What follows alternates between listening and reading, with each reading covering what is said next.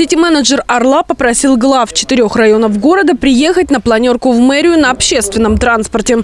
Утром во вторник каждый из них делился подробностями своей поездки. А вы почему карты не оплатили? Понятно. По словам Николая Ванифатова, на сегодняшний день весь общественный транспорт города оснащен устройствами для безналичной оплаты.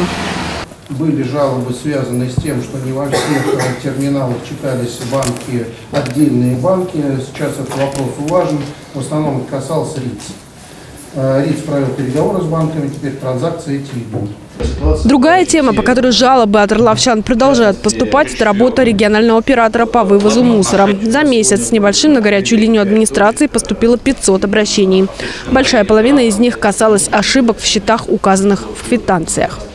Примерно 25% обращений связаны с фактами перенакопления ТКО на контейнерных площадках либо мусороприемных камерах МКД.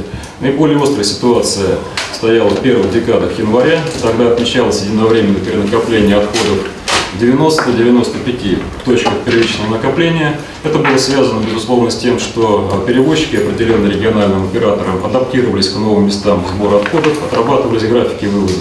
Сейчас ситуация в этом отношении стабилизируется. Мы одномоментно фиксируем перенакопление по 30-40 адресам.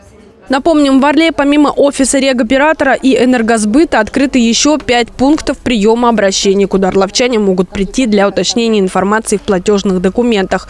Это четыре районных администрации и мэрия. Что же касается телефонов, то свою АТС региональному оператору предоставила единая диспетчерская служба первой городской управляющей компании. Телефон 8 800 510 510 0 доступен для звонков.